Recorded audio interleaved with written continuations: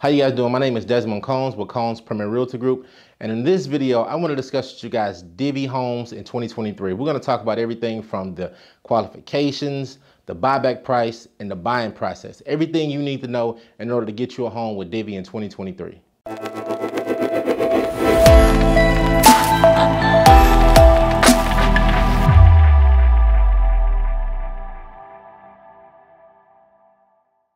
So if you're looking to buy a home with Divvy in 2023, you're in the right place.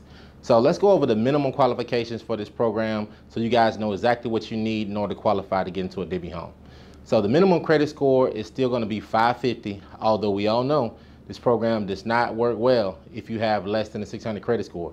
So credit score is 500, but we recommend you coming in at 600. You need to have a debt to income ratio no higher than 50%. No evictions, no bankruptcies in the last 12 months, and you need to have at least 2% of whatever the purchase price of the home is ready to go in case you get an offer accepted. So those are the minimum qualifications for this home. Now remember, your overall approval is based off of your income and your debt to income ratio. So even if you have a 600 credit score and you have no evictions, no bankruptcies, but you just don't make enough to meet the minimum qualifications for the purchase price in your area, you'll still get a decline and it'll be just based off of your income to debt to income ratio. So just keep that in mind. You need to make sure that you make enough income or have enough income on the application, whether it's you adding a co-signer or whatever the situation might be, so that you can get the budget you want in order to purchase this home. And so those are the minimum qualifications to purchase a house with Divvy. Once we get you approved, that's just like money in the bank. Whatever purchase price they give you, whether it's 250, 300,000, 400,000, whatever that dollar amount is, we can go shopping for any home that's on the market. Now Divvy has their own inventory that they currently own, so if you happen to like a home that Divvy currently owns, the process gets a little bit easier. All you have to do is just basically select that home. We go view the home. If you like that home, then you can actually purchase that home directly from Divvy without having to go through this entire process that I'm about to go over. But for everybody else who likes a home that's on the open market, we can choose any home that's on the open market just, along, just as long as the HOA in that community allows Divvy to rent that home. So that's uh, been coming up a lot here in Florida. You know, we have a lot of HOAs in the different communities, so we have to make sure that before we go forward with the purchase process, that uh, we do an HOA check to make sure that the HOA is going to allow Divvy to rent that home. So once we select you a home from the MLS, we're going to put an offer on that home. And so what happens is if the seller accepts that offer, we have to make sure that the house can pass an inspection. So before we even get to the part of selecting a house to put uh, to put an offer on, we want to make sure that we're doing our due diligence uh, to make sure we're picking homes that are move-in ready.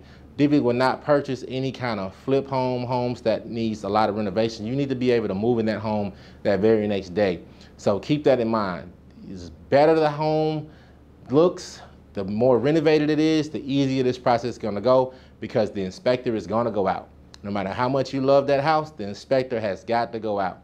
And once the inspector goes out, he's gonna check that house from the top to the bottom. He's gonna give you like a 50 to 100 page report detailing everything that he or she finds wrong with that home.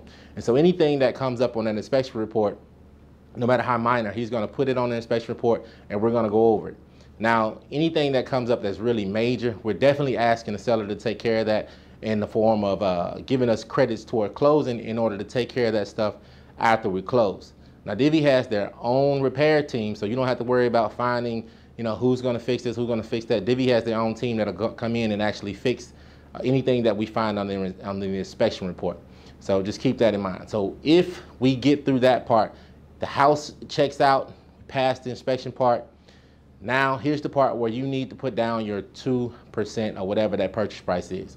You, before we move forward, Divvy has to make sure that you have the 2% in order to move forward. So once you submit your payment to Divvy and pay your first month's rent, you're going to get to sign your lease occupancy agreement. Now, this is the agreement that's going to show you how much you're going to pay for the house, how much your rent is going to be every month, how much uh, your buyback price is going to be, everything you need to know about this home before we move forward. And so the beautiful thing about the Divvy buyback price, since we on that part, let's talk about how what the major change was that Divvy made. Prior to this year, the Divvy buyback price was set at 18 months and 36 months. So basically, you only had two options. You know, so the buyback price was kind of high, and so that was a real turnoff for a lot of people who reached out to me. They were just like, I, I can buy the house back, you know, within six, seven months. I don't need 18 months to buy it back. And it's, you know, it's costing me a lot more to buy it back at 18 months. And so Divvy's been listening. They heard you guys. And so they have now broken up the uh, buyback price every 12 months. So you have a 12 month buyback price, a 24 month buyback price, and now a 36 month buyback price. The 12 month buyback price is 6%. So that is really good. As far as I can uh, recall, that's probably uh, one of the better buyback price in the rent to own space. Uh, you know, there's one other company out there that's probably a little lower, but overall at 6%, that's pretty good buyback price for, uh, for Divvy compared to where they used to be last year. So the buyback price for the first year is going to be set at 6%. So that's the beautiful thing about this program now. And so once we get to that part where you've signed everything, you've agreed to the terms, you paid your money, now we just clear the close. Once we clear the close, everything's going to be turned over to the Divvy closing team. They'll get you in contact with the people who are going to be in control of you uh, basically paying your rent and who's going to be in charge of the repairs. Anything that happens in the house or whatever, you'll need to keep up with these contact information that they give you because that's going to be your main resource in order to get anything prepared. Any work orders you, you have to do in the home. Because remember, this is a rental own home. You don't own it until you buy it back. So anything major happens at the house, you need to make sure you reach out to Divvy in order to get that taken care of. So that's the process. You know, once we get the keys, you know, within, you know, from the time you fill out the application, takes about three to five days in order to get the application approved, fully approved. Once you get it fully approved, takes about another 15 days if we locate a home pretty close to the time you close. So you can be looking at anywhere from like a 20 day process if everything goes according to plan from the time you fill out the application to the time you get the keys to the home. And then from that point, we're just working on trying to buy it back. You know, so I got plenty of solutions for you guys if you want to learn out how to buy the home back using a program like NACA, where you could potentially get your money back in form of a check because NACA is no down payment, no closing costs, no PMI.